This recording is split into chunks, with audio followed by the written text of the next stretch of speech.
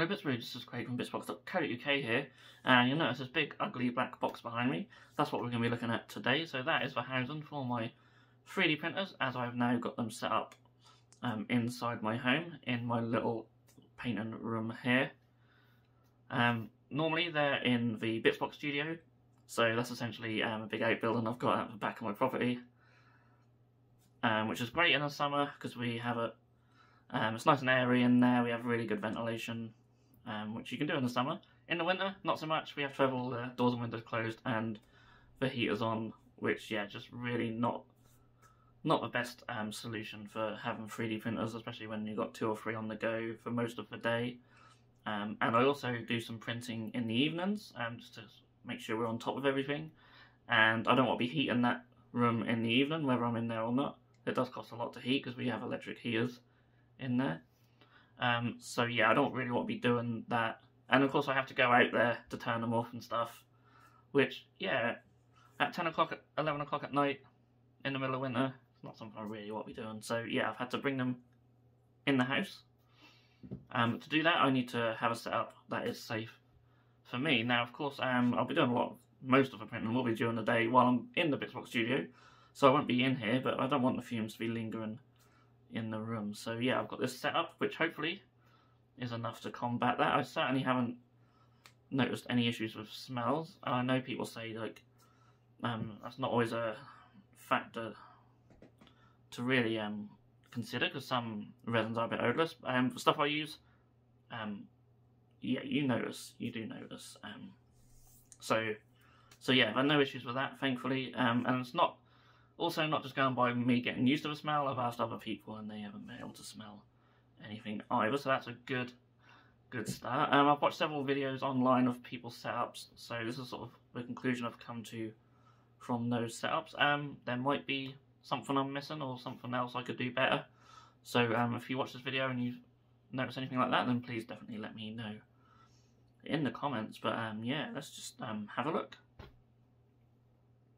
Okay, so yeah, this big ugly black tent is my 3D printers setup. They're all inside there. We'll take a look inside in a minute. It's never going to win any awards for attractiveness, um, but functionality and safety is what this is all about. Um, you'll notice I've got um, Cure Station just set up here as well. I've got another one behind it which I haven't set up yet, but I might end up taking that back down to um, the workroom. We'll see. Anyway, yeah, so the 3D printers are in there. So we'll just look around the room first. I have got my Saturn 2 on the floor. Um, if I really need it, I'll use it. It's got a carbon filter in there. It's not the ideal solution, but if I get desperate, I'll use it. So I'm not always in here. In fact, when we're printing during the day, I'm not even in here at all. I come in here to stick stuff on the printers um, but still don't want any lingering fumes or anything like that. So, yeah, that'll be more of a last resort. I think what we've got in here will be enough for majority of orders and stuff. So, on, on the bottom shelf, so this is just one of the metal sort of worktop things that you can get for, like, garages and things like that. For workshops. Um, I actually used to have it in the workroom. But I've brought it up here. The red trays underneath have bits from people's orders ready to be cured. And that's what I'm going to be doing after this video. I've got resin, gloves, there's some isopropyl. Got some kitchen towel, always really handy. We'll see more of that later as well. Respirator down the bottom, spare filters and whatnot.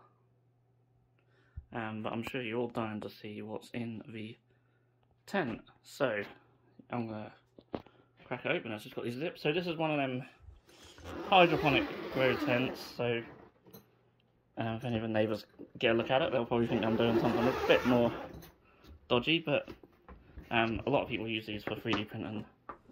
And inside, so I'm mainly using the two Mars 3 printers at the moment, but I do have my Anycubic Ultra there as well. It's got such a small build area, but I just love it. I love that printer, so I've just stuck it that that way on the side. I apologise, it was a bit of a struggle trying to get everything in shot. So I've got just a little spare bit of wood down just for this one to give it a bit more stability.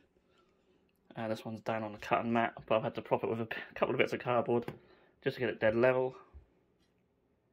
And yeah, there's bits of kitchen towel down, again, just for catching resin. You can see already how much we get, especially after washing. So I wanted to put the wash station in here as well.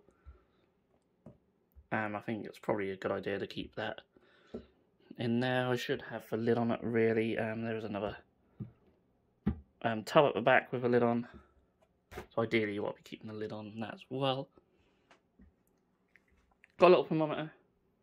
Just to see the temperature. Obviously one of the big reasons for doing this indoors. Temperatures, probably want it a little bit warmer than that, but um, I seem to be printing fine. Anything above 15 seems to be absolutely fine. Got a heat gun there just in case. Um, I also have a jug. I do recommend people getting a jug for 3D printing. So if you have to clean out your vat, then a lot of times just trying to pour it back into a bottle through a little filter. I find it easier just to do that into a jug through the filter. And then you can just pour back in through the jug rather than trying to get it in the bottle. Especially when the bottle gets low and hasn't got that sort of weight to keep it up upright. So yeah, jug seems to be a better option for me personally anyway. So, for um, air filtration, so what I've got, if we can get there, or also, I do have a little light. There's a little USB light just sort of clipped up on here. And then at the back here, if we can get there, there's one of these extractor fans and I've got my power surge banked there. So it's always nice to have some sort of surge protection. And literally I've just got it on this little dial and a plug and you can hear that. That is the loudest it goes. Which isn't too bad at all. I don't know how well the camera picks all this up.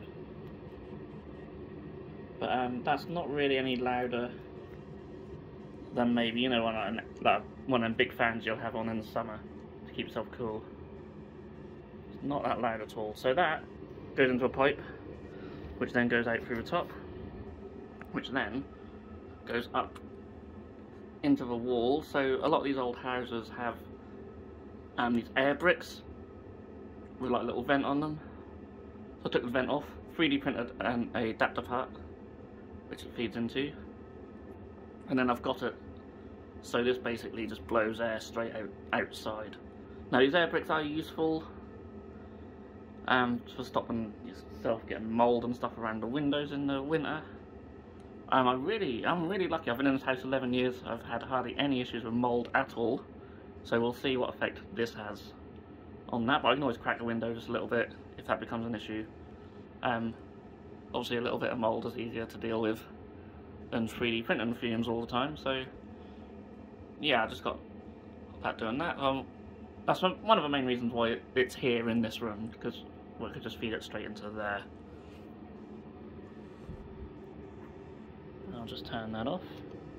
But that's got its dial as well, so I could turn it down. But it makes this horrible sort of noise if I turn it down too low. But I can just turn it off like that as well, but um, I prefer using the button. And that's on its own channel on the bottom, just so I don't accidentally turn the 3D printers on and off. Um, so that's essentially it for inside the tent, and then when I've got stuff on the print, I can just zip it up, have a fan on, and I must say I've not noticed any smells or anything like that. So before we go, there was one thing um, I did just want to show, so I'm going to stick the fan back on, and I'll show you um, the, the noise that makes um, when you're not in the room. Just to give you a rough idea what it'd be like. So this is the noise it makes with everything closed up. I don't know how well you can hear that. And if I back out of the room and close the door, you'll notice you can barely hear it. I apologise, it's a bit dark out here. Um, so I don't even have a proper door on here, it's just one of these sort of cupboard doors. Um, I will replace that one day. But the door's hardly ever shut. Although I am closing it now. So I've got these on. But yeah, literally, step back a bit, you just, oh, that's not focusing. You can barely hear it at all. So that's reassuring because um, obviously I wouldn't want the neighbours to hear it. I won't leave it on overnight. I won't print overnight. Um, but I do print um, late into the evening sometime. Um, end of the day, it's just white noise. So it shouldn't be disturbing anyone's sleep. So I'm just sitting here editing the video and I've noticed that I filmed this before I put the curtain up. And it's sort of quite obvious that this is right next to a window. And yeah, the blinds are there, but um, they're not going to do a lot to keep sunlight out, especially early in the morning. Especially in the winter months, actually, when the sun's lower, that really just comes straight through the windows. So yeah, obviously the big black tent is handy for keeping it out, but when I need to open that, get prints out and such, yeah, I do need the curtain. So the curtain is up. That was there before, um, but that all just came down while I was putting this up. And yeah, I didn't put it back up and by the time I filmed the video. So yeah, it's back up now. Just thought I'd share that. So yeah, let's get um, back to the video. So you guys are probably bored of just staring at a big black tent for so long, so I'm going to leave it here. I'll be interested to hear anyone's comments um, if they've got a similar setup at home or what setup they have. Um, I've seen several on YouTube and sort of come to this sort of conclusion. I'll leave links for all the products I use down below. They will be affiliate links, so you know I get a little kickback if you buy any of them, but um, that's no extra cost to you guys. But yeah, um, it seems to be working okay despite looking ugly. So yeah, we'll leave it at that. Like I said, you guys probably don't want to keep staring at this black box, so I'll catch you all again in the next video. If you enjoyed this video then please feel free to subscribe to our channel if you haven't done so already. You can also click that bell icon to be notified when a new video has gone live on this channel. On the screen now are two more videos that you may wish to check out and a link to our Patreon page also. Thank you so much for watching and we'll see you again soon.